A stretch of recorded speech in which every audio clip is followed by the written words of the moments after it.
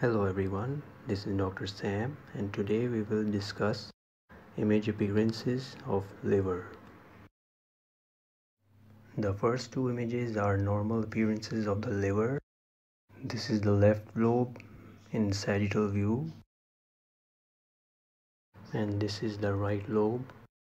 Right here is the kidney and the liver is having smooth echo texture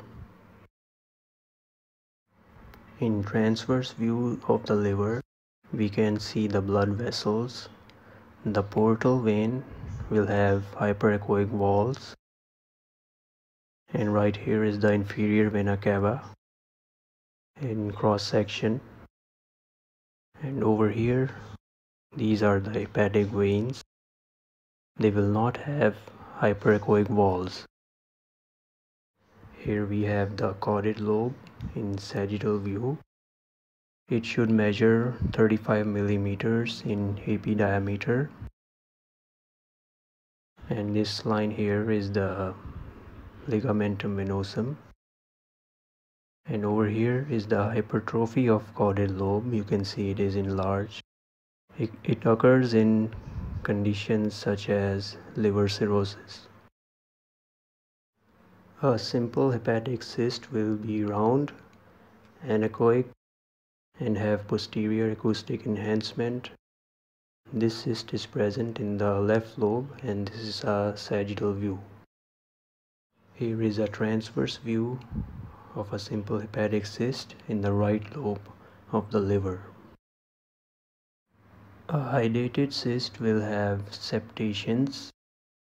These are these walls are septations and they can have echogenic material as well. And they can also have daughter cysts which means that there could be a cyst such as this one this cyst within this hydatid cyst. A calcified hydatid cyst will have hyperechoic calcified rim and this will lead to posterior shadowing and internal septations may also be noticed. An abscess can have variable appearances. Mostly it is hypoechoic, but depending on its density, it can be hyperechoic and also it is heterogeneous. But the main feature is that it will have no flow on Doppler which can distinguish it from other masses. An abscess in the right lobe of liver. This is the transverse view. It is mostly hypoechoic and has heterogeneous areas as well. And when we apply Doppler, it will not have any flow. Hemangiomas are benign liver masses they are mostly hyperechoic, well defined, and they can be more than one. And they will not have any posterior shadowing. Here you can see one mass here and another mass over here. Here is a sagittal view of the liver showing a hemangioma right here and when we apply Doppler it will not have any central flow.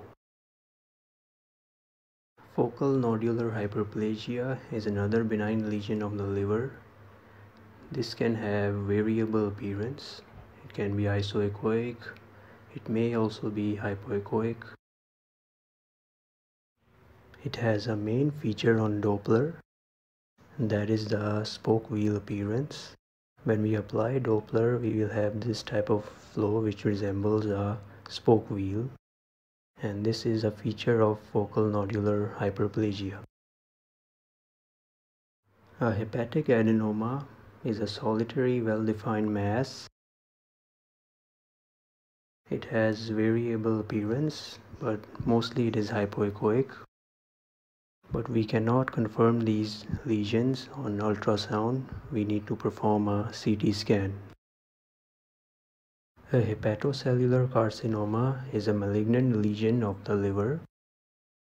It has a hypoechoic appearance and larger masses may have a heterogeneous appearance but we need to perform a CT scan to have proper diagnosis.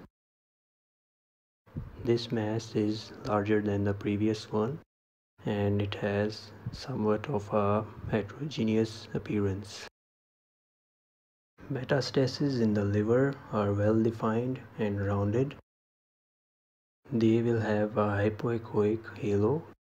The outer region is hypoechoic and will have a hyperechoic center. This type of appearance is called a target sign or the bullseye appearance. It is very specific to metastatic lesions. This image shows multiple metastatic lesions in the liver showing us again the target sign. Some metastatic lesions can have cystic components as well. Over here we have the hypoechoic halo and a hyperechoic inner region followed by a cystic area in this metastatic lesion. This image shows multiple metastatic lesions along with a fatty liver. Now we move on to fatty liver for hepatic steatosis starting with grade 1 the mildest form of fatty liver.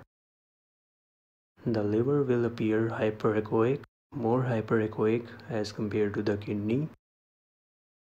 But we can see the diaphragm normally and we can also see the hyperechoic walls of portal vein. In grade 2 steatosis the echogenicity of the liver is increased and we cannot see the hyperechoic walls of portal vein. We cannot see that clearly but we can still see the diaphragm clearly. So this is a feature of grade 2 steatosis in grade 3 steatosis there is no visualization of the diaphragm and overall there is poor visualization of the liver structures such as the vessels. Cirrhosis of the liver is a serious condition in which the liver will be reduced in size and will have surface nodularity which is the rough surface of the liver. And it will have coarse echo texture which is also the rough echo texture of the liver. And it may also have ascites which will be fluid surrounding the liver in the abdominal cavity.